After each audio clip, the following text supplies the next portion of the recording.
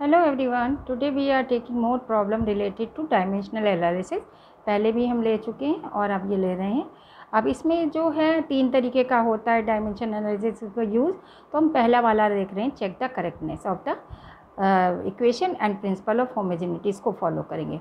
अब यहाँ पे ये पॉइजली फार्मूला दिया है V is equal to pi P R की power four eight eta L ठीक है?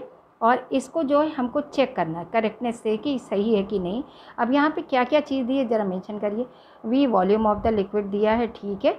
और इसके बाद कोफिशेंट ऑफ़ विस्कोसिटी के साथ एक चीज़ लिखिए फ्लोइंग पर सेकेंड यहाँ पर ध्यान दीजिए फार्मूले में कि यहाँ विस्कोसिटी सिर्फ़ वर्ड नहीं है, यहाँ विस्कोसिटी पर यूनिट टाइम है।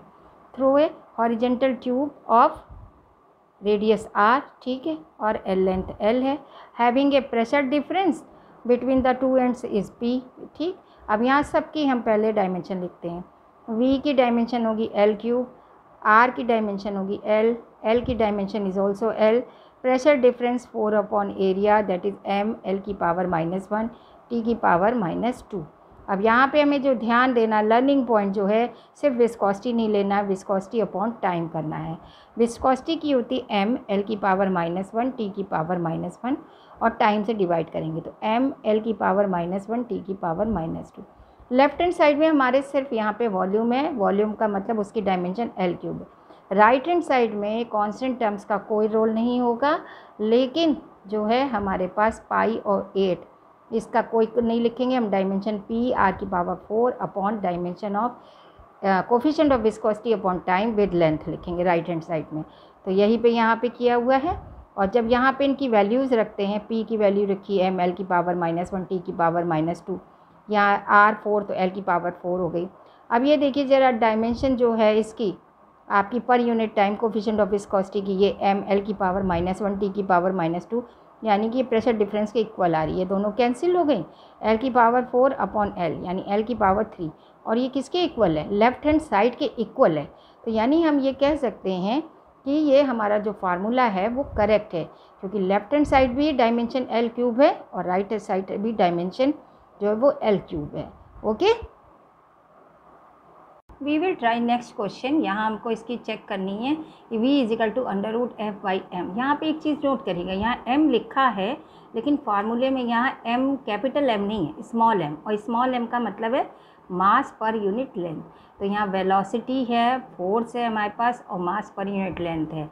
और हमको इनकी सबकी डायमेंशन निकाल के ये बताना है कि ये फार्मूला सही है कि गलत है.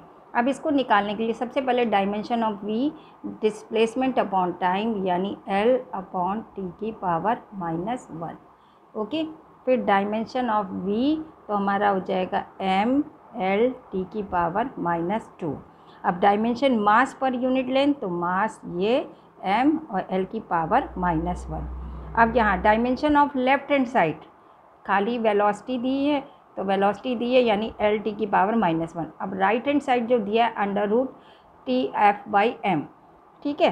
तो अब हमें dimension of right hand side की निकालनी है तो यहाँ पे हमको लेनी पड़ेगी dimension of F upon dimension of M that is the mass per unit length और यहाँ पावर भी हमको हाफ़ करनी पड़ेगी। ठीक है? अब इसको ज़रा रखते हैं हम डायमेंशन जब एफ़ की रखते हैं तो हमारे पास आता है एम एल टी की पावर माइनस टू और यहाँ आएगा एम एल की पावर माइनस वन ओके और ये हो गई पावर हाफ़ एम कट गया। ये ऊपर आएगा तो एल की पावर माइनस वन ऊपर पॉजिटिव हो जाएगी। तो यानी एल स्क्वायर हो गया। और टी की पावर माइनस टू और ये पावर हाफ़ अब इसमें देखिए हम इसको ऐसे भी लिख सकते हैं एल टी की पावर माइनस वन और two into one by two तो ये कट जाएगा तो हमारे पास क्या बचेगा? एल टी की पावर माइनस वन और ये वही डायमेंशन है जो हमने निकाली थी किसकी? लेफ़्ट हैंड साइड में जो सो वी था एल टी की पावर माइनस वन तो हम इस तरीके से लिख सकते हैं कि left hand side equal to right hand side किस केस में? आपका डायमेंशन के केस में। So given formula v is equal to under root F by M और यहाँ पे f की जगह और एक चीज़ बताएँ। अक्सर आपको क्वेश्चन में t बाई एम भी मिलेगा। T का मतलब टेंशन हो टेंशन क्या होती है? फोर्स तो टेंशन की डायमेंशन हो, चाहे फोर्स की डायमेंशन हो, दोनों की सेम रहेगी। हाँ यहाँ लर्निंग पॉइंट ये है कि आप एम को पढ़ लीजिएगा फार्मूला देख के मत करिएगा। लैंग्वेज में लिखा होता है कि मास पर यूनिट लेंथ तो इस तरीके से ये भी फार्मूला हमारा करेक्ट है। अब नेक्स्ट क्वेश्चन जो कि हम पहले भी कर चुके हैं दूसरे तरीके से, अब हमको क्या करना है, ज़रा देखिए। द रेट ऑफ़ फ्लो यहाँ पे रेट ऑफ़ फ्लो की बात कर रहे हैं। यानी कि कोई भी चीज़ जो है, वो फ्लो कर रही है, वो पर यूनिट टाइम दे रहे हैं। Through a capillary tube of length L and radius R जो कैपिलरी ट्यूब है, उसका एल लेंथ है रेडियस आर है और under a pressure difference P small P उसका डिफरेंस है। तो then is given by the Poiseuille formula ये पॉइजली फार्मूला होता है V is equal to pi P R की power four eight eta L find the dimension of the coefficient of viscosity of the liquid यहाँ पे हमको dimension किसकी निकालनी, इसकी निकालनी है कोफिशेंट ऑफ़ विसिकॉसिटी की। अब ज़रा इसको निकालने के लिए ज़रा देखिए यहाँ पे पहले क्या वर्ड यूज़ हुआ है? पहला चीज़ कहती है, द रेट ऑफ़ फ्लो। तो अगर हम डायमेंशन ऑफ़ वी की बात करें तो डायमेंशन ऑफ़ वी हमारा क्या हो जाएगा? वी क्या रेट ऑफ़ फ्लो। तो वी अपॉन टी, यानी एल क्यूब अपॉन टी। ये यहाँ पे लगेगा, ओके? प्रेशर की डायमेंशन की बात करें तो प्रेशर क्या होता है? Force upon area. फोर्स होता है एम एल टी की पावर माइनस टू और एरिया हो गया एल स्क्वायर। तो ये हम पहले भी कर चुके हैं।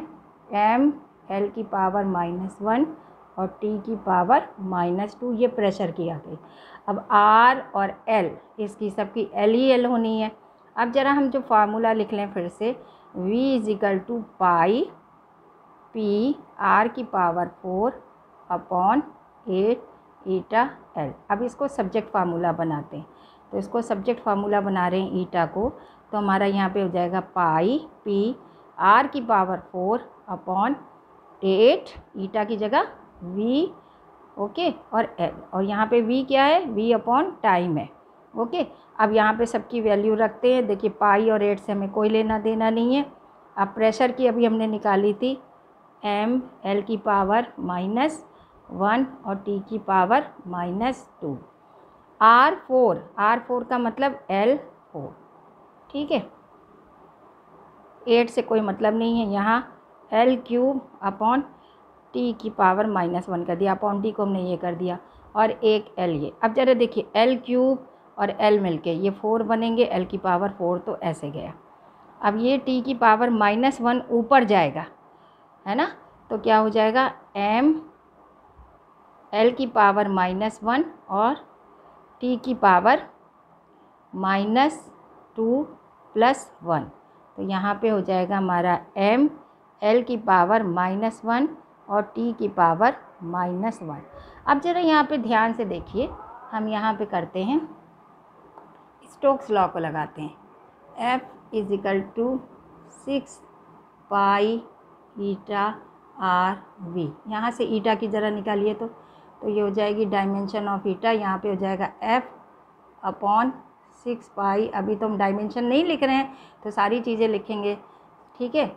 उल्टा कर दिया। हाँ F upon six pi eta तो यहीं रहेगा। आर और वी वी वेलोसिटी है।